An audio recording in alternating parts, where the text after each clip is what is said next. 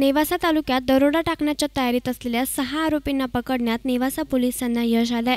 नेवासा तालुक्यातील भेंडा येथील देवगाव चौक या ठिकाणी चार जण तर वाकडी शिवारात दोन जण दरोड्याच्या तयारीत असल्याची माहिती गुप्तचर यंत्रणेकडून मिळताच कुकाना पोलीस स्टेशनच्या पोलिसांनी सहा आरोपींना हत्यारासहित रविवारी सायंकाळी चारच्या सुमारास पकडलाय. यामध्ये आरोपींकडे त्यांना एक कट्टा घरगुती हत्यारं आणि एम एच सोळा ए के चौदा दहा या एकाच नंबरच्या दोन पल्सर गाड्या मिळून आल्यात. यामध्ये पोलीस निरीक्षक प्रवीण लोखंडे यांच्या मार्गदर्शनाखाली ही कारवाई पोलीस उपनिरीक्षक Bhingare head constable Santosh Phalke police कर्मचारी सोमनाथ कुंडारे त्याचबरोबर नितीन भताने दिलीप कुराडे यांनी केली आहे. तर आरोपी गोपाल दत्तू कानहे राहणार कुंभारी सोलापूर. शुभम अनिल काळे राहणार गणेशनगर राहता. भरत ताता काळे राहणार गणेशनगर राहता. राहुल दारासिंग आढांगळे राहणार सौंदाळा भेंडा. संजय रावसाहेब चव्हाण राहणार दहिगाव रांजणी. अनिल बनसोडे राहणार पंढरपूर.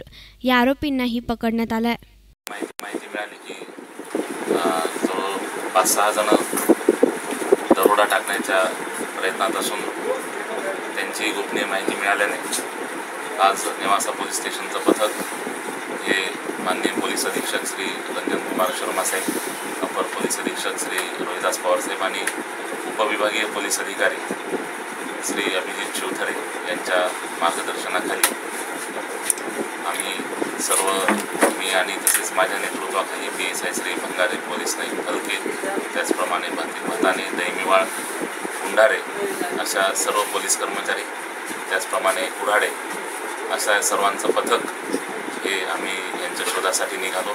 त्यांच्या पाठलागावर असताना त्यांच्या मागावर असताना देवगाव चौकामध्ये चार जणांना पकडण्यात यश मिळालं आणि त्या दरम्यान त्यांच्याकडून दोन मोटरसायकल त्याचप्रमाणे दरोडा टाकण्याचं साहित्य देशी कट्टा हे सर्व साहित्य मिळालं.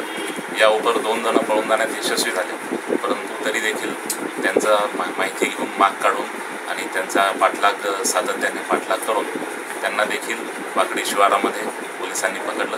आणि त्यांच्यावर आता दरोड्याचा प्रयत्नाचा आय पी सी तीनशे नव्याण्णव प्रमाणे गुन्हा दाखल करत news reporter Firoz Shaikh S nine media Nevasa.